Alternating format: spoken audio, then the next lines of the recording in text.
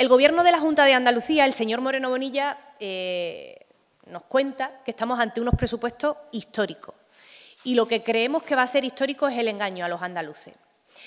Es verdad que el señor Moreno Bonilla no se resiste a hablar de presupuestos históricos porque es verdad que estamos ante un presupuesto que tiene más ingresos que nunca. Más recursos que nunca llegan del Gobierno de España a la Junta de Andalucía, a nuestra tierra. Por tanto, no estamos ante un problema de financiación. El señor Moreno Bonilla no podrá decir, diciendo que tiene un presupuesto histórico, que tenemos problemas de financiación. El último presupuesto de Rajoy, en 2018, a este que se presenta hoy, tiene una diferencia de 11.000 millones de euros más para Andalucía. Habrán escuchado ustedes al señor Moreno Bonilla hablar de que le faltan 1.500 millones de euros. Es ridículo, ¿verdad? Hablar de que le faltan 1.500 millones de euros cuando este presupuesto tiene, del último que aprobó Rajoy el Partido Popular, 11.000 millones de euros más.